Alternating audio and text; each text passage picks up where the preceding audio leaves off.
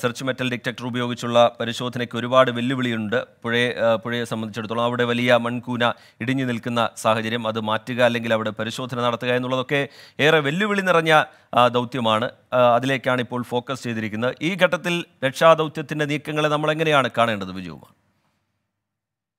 റിജിത്ത് എട്ടാം ദിവസം തെരച്ചിലിന്റെ കേന്ദ്രം എന്ന് പറയുന്നത് ഗംഗാവാലി നദി തന്നെയാണ്. ആ നദിയുടെ വിവിധ ഭാഗങ്ങളിലാണ് നാവികസേന ഇപ്പോൾ തെരച്ചിൽ നടത്തുന്നത്. പക്ഷേ സമാന്തരമായി കരയിലും ഈ മണ്ണ് നീക്കുന്ന പ്രക്രിയ തുടരുന്നുണ്ട്. അതൊരു നമ്മൾ ആരെങ്കിലും കാണാതായ ഒരാളിനെ കണ്ടെത്തുന്നതിന് വേണ്ടിയാണോ അതോ റോഡ് ഗതാഗതം സുഗമമാക്കുന്നതിന് വേണ്ടിയാണോ എന്ന് ഈ ഘട്ടത്തിൽ ഉറപ്പിക്കാൻ കഴിയില്ല. പക്ഷേ മണ്ണ് നീക്കുന്ന ഒരു പ്രക്രിയ കരയിൽ തുടരുന്നുണ്ട്. ഏറ്റവും പ്രധാനപ്പെട്ടത് ഈ ഗംഗാവാലി നദിയിലെ തെരച്ചിൽ തന്നെയാണ്. ആ തെരച്ചിലിൽ എന്തെങ്കിലും നിർണായക സൂചനകൾ ഇതുവരെ ലഭിച്ചതായി നമുക്ക് ഈ ഘട്ടത്തിൽ വിവരമില്ല.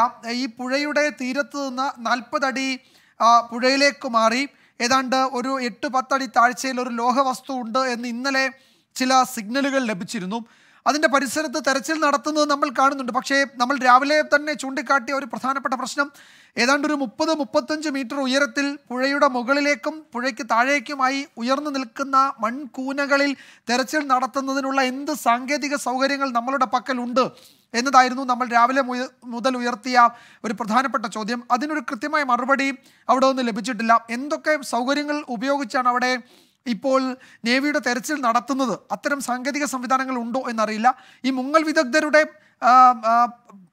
അവരുടെ തെരച്ചിലിനപ്പുറത്തേക്ക് അവിടെ സാങ്കേതിക സൗകര്യങ്ങൾ എത്രത്തോളം ഉണ്ട് എന്നതാണ് നമുക്ക് മനസ്സിലാക്കേണ്ടത്. പക്ഷേ അത് എന്തെങ്കിലും ആ നിലയിലുള്ള പരിശോധനയ്ക്ക് അവിടെ ഒരു ഹെവി മെഷീനറി എത്തിച്ചതായി ഒരു സൂചനയുമില്ല. മറ്റൊന്ന് ഈ ഇത്രയും മണ്ണ് അവിടെ നീക്കി ഒരു തെരച്ചിൽ നടത്തുക എന്ന് പറഞ്ഞാൽ അത് ഡ്രഡ്ജറിന്റെ സഹായം തന്നെ വേണ്ടിവരും പത്ത് മുപ്പത് അടി താഴ്ചയിൽ കിടക്കുന്ന മണ്ണ് മാറ്റി പരിശോധിക്കാൻ ഡ്രഡ്ജിങ് എന്ന് പറയുന്ന പ്രക്രിയ തന്നെ ആ പുഴയിൽ നടത്തേണ്ടി വരും. പക്ഷേ അതിനൊന്നും പറ്റുന്ന തരത്തിൽ എന്തെങ്കിലും സംവിധാനങ്ങൾ അവിടേക്ക് എത്തിച്ചതായി വിവരങ്ങളൊന്നും തന്നെയില്ല ഇന്ന് രാവിലെ ചിലർ സൂചിപ്പിച്ച ഒരു പ്രധാനപ്പെട്ട കാര്യം ഈ പുഴയിലൂടെ മരക്കഷ്ണങ്ങൾ ഒഴുകി പോകുന്നുണ്ട്.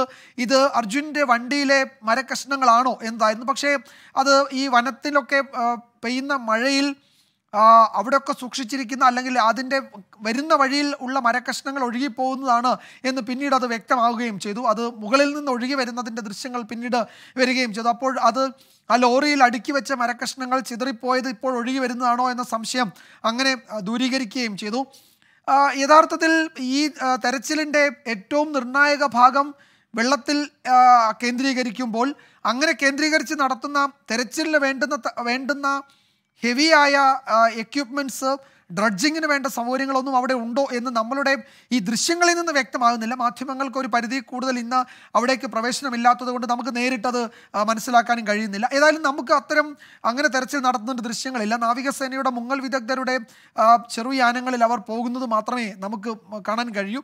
നേരത്തെ അരുൺ പറഞ്ഞതുപോലെ അവിടെ മരിച്ച ഒരു സ്ത്രീ അവരുടെ മൃതദേഹം കിട്ടിയത് ഏതാണ്ട് പത്ത് പന്ത്രണ്ട് കിലോമീറ്റർ താഴെയാണ്. അപ്പോൾ അത്രയും ദൂരേക്കൊക്കെ ആളുകൾ ഒഴുകിപ്പോയിട്ടുണ്ട് ആ മേഖലയിൽ തന്നെ. അവിടെ നമ്മളിന്ന് അതിന്റെ അങ്ങേക്കര ഇപ്പോൾ ഈ ദൃശ്യങ്ങളിൽ കാണാം. ഈ പുഴയുടെ അങ്ങേക്കരയിൽ നിന്നുള്ള ദൃശ്യങ്ങളാണ്. അവിടേക്ക് ഈ പുഴ ഇങ്ങനെ ഒരു സുനാമി കണക്കെ ഇരച്ച് കയറി വന്ന് വീടുകളൊക്കെ തച്ച് തകർത്ത് പോയതിന്റെ ദൃശ്യങ്ങളാണിത്.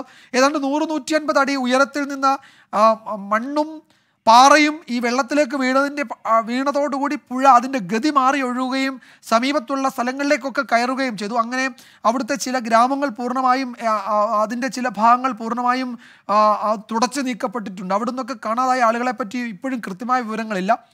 എത്ര പേര് അവിടെ നിന്ന് മിസ്സിംഗ് ആണ് എന്നത് സംബന്ധിച്ച കണക്കുകളൊന്നും ലഭ്യമല്ല എന്നാണ് പറയുന്നത്. അപ്പോൾ അങ്ങനെ അത്രയും വലിയ നാശനഷ്ടം ആ മേഖലയിൽ ഉണ്ടായിട്ടുണ്ട്. അതുപോലെ അവിടുന്ന് ഒരു ടാങ്കർ അതിന്റെ ഒരെണ്ണം രണ്ടെണ്ണമാണ് അവിടെ നഷ്ടപ്പെട്ടത്. ഒരെണ്ണം കിട്ടി ഒരെണ്ണം എവിടെയെന്ന് അറിയില്ല അതിലൊരെണ്ണം വെള്ളത്തിൽ വെച്ച് പൊട്ടിത്തെറിച്ചു എന്ന് അവിടെ പ്രാദേശിക ആ- നാട്ടുകാർ പറഞ്ഞിരുന്നു. അങ്ങനെ വലിയ വെള്ളം തിളച്ച് മുകളിലേക്ക് ഉയരുന്നത് കണ്ടു എന്നൊക്കെ പറയുന്നത് നമ്മൾ കേട്ടു. അതിശയോക്തി ആയിരിക്കില്ല ഒരു പക്ഷേ അതൊക്കെ ആയിരിക്കും അവിടെ സംഭവിച്ചത്. നമ്മൾ കരുതുന്നതിനപ്പുറത്തേക്കുള്ള പ്രകൃതിയുടെ ഒരു സംഹാര താണ്ഡവം ആ മേഖലയിൽ നടന്നിട്ടുണ്ട്. I S R satellite image ഈ അപകടം ഉണ്ടാകുന്നതിന് രണ്ട് രണ്ടര മണിക്കൂർ മുമ്പുള്ളതാണ്. ഒരു ഉപഗ്രഹം കടന്നു പോയപ്പോഴുള്ളതാണ് പക്ഷേ അത് അതിൽ അതിൽ ക്ലൗഡിയായ ഒരു വെതറായിരുന്നു മഴമേഘങ്ങൾ നിറഞ്ഞതാണ്. അത് അതിൽ നിന്നെങ്കിലും കൃത്യമായ വിവരങ്ങൾ ലഭ്യമല്ല എന്നാണ് ജില്ലാ ഭരണകൂടം അറിയിച്ചിരിക്കുന്നത്. അത് നാവികസേനയുടെ പക്കൽ ഇപ്പോഴുണ്ട്. പക്ഷേ അതിൽ നിന്നൊക്കെ എന്തെങ്കിലും ഒരു നിഗമനത്തിലേക്ക് എത്തുക അസാധ്യമാണ്. അത്രത്തോളം വിസിബിൾ അല്ല ആ ദൃശ്യങ്ങൾ. മറ്റൊരു പ്രധാനപ്പെട്ട കാര്യം റിജിത്ത് പറയാനുള്ളത് ഇന്ന് അവിടെ പല സമയത്തും മഴ പെയ്യും എന്നാണ് പറഞ്ഞത്. ഇപ്പോഴും അവിടെ ഒരു മഴ തോർന്നു. മഴ ഇപ്പോഴും പെയ്യുന്നുണ്ട് പക്ഷേ ആ ശക്തി കുറഞ്ഞിട്ടുണ്ട്. പക്ഷേ നാല് മണിക്ക് വളരെ കനത്ത മഴയ്ക്ക് അവിടെ സാധ്യതയുണ്ടെന്നാണ് വെതർ ഫോർകാസ്റ്റ് വ്യക്തമാക്കുന്നത്. അപ്പോൾ ഈ ഇടവിട്ട് ഇടവിട്ട് പെയ്യുന്ന കനത്ത മഴ ഈ തെരച്ചിലിനെ ആകെ ബാധിക്കുന്നുണ്ട്. പക്ഷേ ഒരു ചെറിയ ആശ്വാസമുള്ളത് ആ പുഴയിലെ ദൃശ്യങ്ങൾ ഇപ്പോൾ കുറച്ചൊക്കെ തെളിഞ്ഞാണ്. ഇന്ന് രാവിലെയും ഇന്നലെയൊക്കെ കാണുന്നത് കലങ്ങി മറിഞ്ഞൊഴുകുകയായിരുന്നു. അത് എപ്പോൾ വേണമെങ്കിലും അതിന് നിറം മാറാം. എന്തായാലും അത് വിസിബിലിറ്റി എന്നത് കുറച്ചൊക്കെ ഇപ്പോൾ സാധ്യമാണ്. പക്ഷേ അതുകൊണ്ട് കാര്യമില്ല. ഈ മുപ്പത് മുപ്പത്തഞ്ച് അടി ആ, മണ്ണുകൂനയ്ക്കുള്ളിലാണ് എന്തെങ്കിലും കുടുങ്ങിയിരിക്കുന്നതെങ്കിൽ അത് നമുക്ക് കണ്ടുപിടിക്കണമെങ്കിൽ ഈ പറയുന്ന സാങ്കേതിക സൗകര്യങ്ങൾ വേണ്ടിവരും അത് അവിടെ എത്തിച്ചിട്ടുണ്ടോ എന്നതിൽ സംബന്ധിച്ച് ഒരു കൃത്യമായ വിവരമല്ല. നമ്മൾ പലരോടും അതിനെപ്പറ്റി അന്വേഷിക്കുന്നുണ്ട്. പക്ഷേ അത് എത്തിയിട്ടുണ്ടോ എന്നതിൽ ഒരു ക്ലാരിറ്റിയുള്ള വിവരം ഈ ഘട്ടത്തിൽ ലഭ്യമല്ല. എങ്കിലും ആ നാൽപ്പത് മീറ്റർ അകലെ എട്ടടി താഴ്ചയിലുള്ള ഒരു ഒരു ലോഹവസ്തു ഉണ്ട്. ആ ഭാഗത്താണ് ഇപ്പോൾ നാവികസേനയുടെ തെരച്ചിൽ മുങ്ങൽ വിദഗ്ധരൊക്കെ ഉള്ളത്. അവിടുന്ന് എന്തെങ്കിലും കൂടുതൽ പരിശോധനയിലേക്ക് വെളിച്ചം വീശാവുന്ന തെരച്ചിലേക്ക് വെളിച്ചം വീശാവുന്ന എന്തെങ്കിലും വിവരങ്ങൾ നിർണായകമായത് കിട്ടുമെന്ന പ്രതീക്ഷ നമുക്ക് ഈ ഉച്ചയ്ക്കും അങ്ങനെ ആ പ്രതീക്ഷയോടെ മുന്നോട്ട് പോകാം. ഈ ഇടവിട്ട് പെയ്യുന്ന മഴ തെരച്ചിലിനെ ബാധിക്കുന്നുണ്ട്. ഈ ദൃശ്യങ്ങൾ ഈ പുഴയുടെ അക്കരയിൽ നിന്നുള്ള ദൃശ്യങ്ങളാണ്. അവിടെ എല്ലാം തച്ച് തകർത്ത ആ പുഴ അതിലെ കടന്നു പോയതാണ് ഇത് വീണ്ടും അത് ഇപ്പോൾ ഇറങ്ങിപ്പോയെങ്കിലും ആ ദൃശ്യങ്ങളിൽ കാണാം. അവിടെയൊക്കെ വലിയ നഷ്ടം ഉണ്ടായിട്ടുണ്ട് ആളുകൾ. ആളുകളില്ല പലയിടത്തും അവരുടെ സമ്പാദ്യങ്ങളാകെ ഒഴുകിപ്പോയി. അങ്ങനെയും നഷ്ടത്തിന്റെ കണക്ക് മാത്രമാണ് ആ മേഖലയിൽ ഈ നദിക്കരയിൽ നിന്ന് വരുന്നത്. നമ്മളുടെ ഒരു വലിയ നഷ്ടവും അതിന്റെ വിവരങ്ങളും ഈ ഘട്ടത്തിലുമില്ല. തെരച്ചിൽ തുടരുന്നുണ്ട്. എന്തായിരിക്കും ഇന്ന് സേനാ വിഭാഗങ്ങളുടെയൊക്കെ നിഗമനം എന്നത് ഒരുപക്ഷെ വൈകിട്ടോടെ ആയിരിക്കും അവരത് വ്യക്തമാക്കുക. ജില്ലാ ഭരണകൂടം ഒന്നും ഇതുവരെ ഇന്നത്തെ തെരച്ചിലിന്റെ കൂടുതൽ വിവരങ്ങൾ നൽകിയിട്ടുമില്ല. ശ്രീജിത്ത്. ശരി എസ്. വിജയകുമാർ വിവരങ്ങൾ പങ്കുവെക്കുകയായിരുന്നു.